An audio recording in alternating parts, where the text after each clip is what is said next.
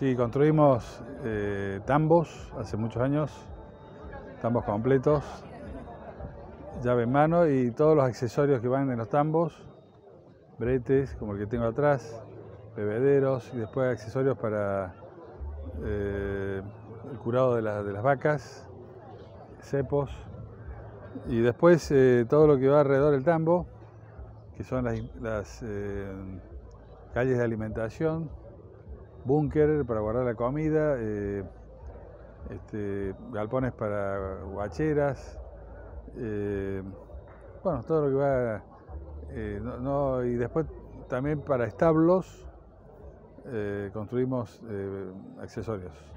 Mira, empezamos en el 82, o sea, 40 años.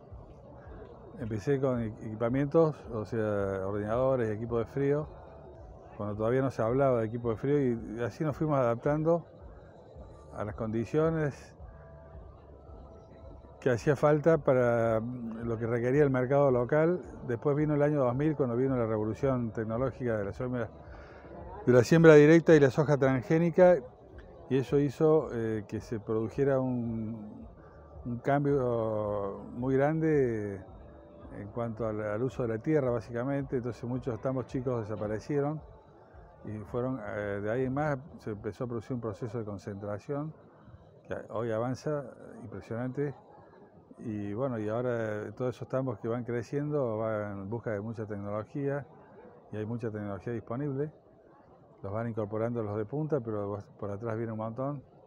La leche está, hay más y los tambos son muchos menos, pero este, y hay un futuro muy interesante. Hay una renovación también en, eh, la gente joven que está al frente de los tambos. Yo digo, por momentos me estoy atendiendo a terceras generaciones. Hice negocio con el abuelo, después con el papá y ahora estoy haciendo negocio con los hijos. Este, y eso es muy, alentador. Sí, sí, hay un avance tecnológico en ese aspecto muy eh, notable y sobre todo en esta cuenca, eh, alrededor de Villa María y todos los lugares satélites eh, hay muchos proyectos que están en ejecución, otros que se van a hacer.